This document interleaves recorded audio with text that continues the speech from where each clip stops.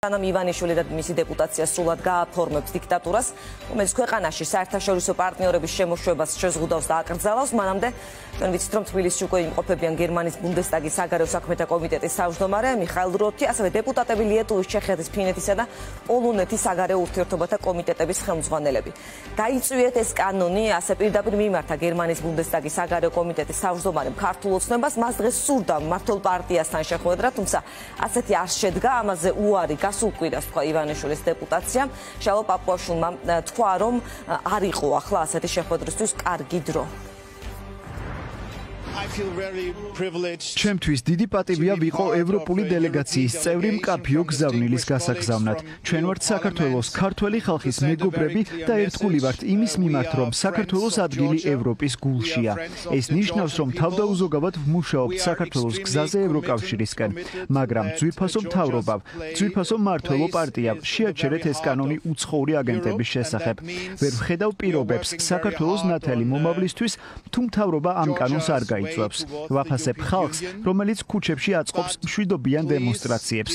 თბილისი ნამდვილად არის ევროპის დედაქალაქი ამ გამოწვევებით სავსე დროს და ვიმედოვნებ, რომ გვექნება შანსი ვილაპარაკოთ მთავრობის, პარლამენტის, ოპოზიციის და სამოქალაქო საზოგადოების წარმომადგენლებთან.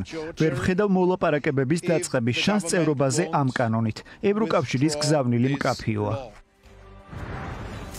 მანამდე როცა სოციალურ ქსელში თბილისში გადაღებული ფოტო გამოაქვეყნა და აღნიშნა რომ ევროპის ნამდვილ დედაქალაქშია ის გამოირჩევა აგენტების შესახებ კანონის წვავე კრიტიკით მას სურდა როგორც უკვე ვთქვით მართლ დეპუტაციასთან შეხვედრა თუმცა პარლამენტის სპიკერისგან მიიღო უარი როგორც უკვე გითხარით ჩალო პაპოშულმა თქვა რომ ასეთი შეხვედრისთვის იყო ცუდი დრო.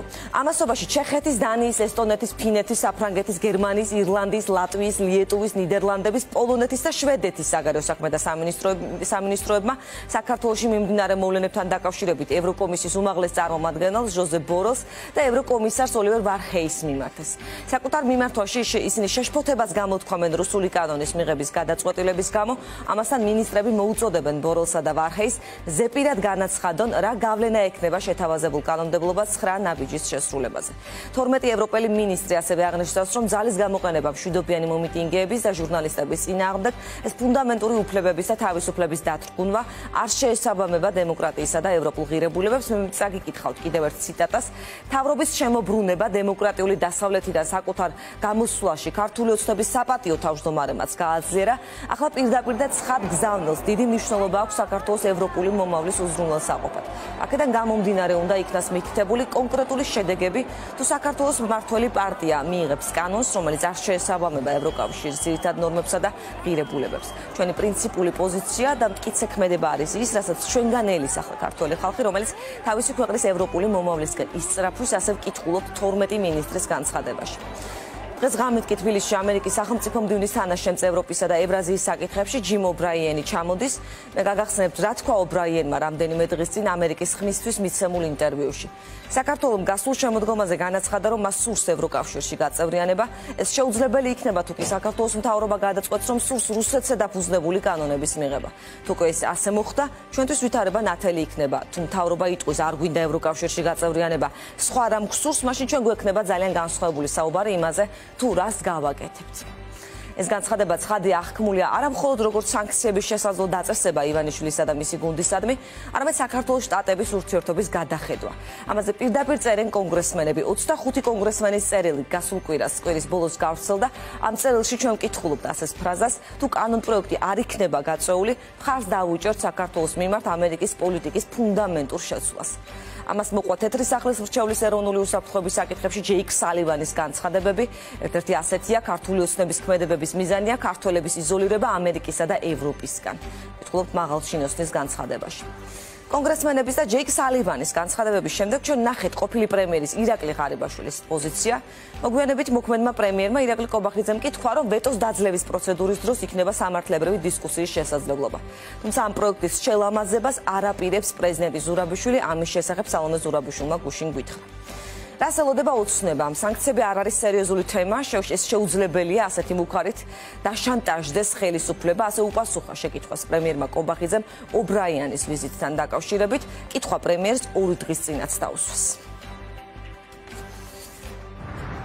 კონკრეტულად უკავშირდება ამ კანონპროექტის განხილვას დარჩენი არის. დარემოსალდნელ სანქციებს, მათ შორის პერსონალურს არ მგონია რომ არის ეს არ შეესაბამება ასეთი რამ პარტნიორულ ურთიერთობებს. ნამდვილად არ შეესაბამება. მაგრამ კიდევ ერთხელ გამიმერებ რომ ზოგადად სანქციები არ არის ის რაც შეიძლება გამოდგეს შანტაჟისტვის ხელისუფლების წინააღმდეგ და ხალხის წინააღმდეგ.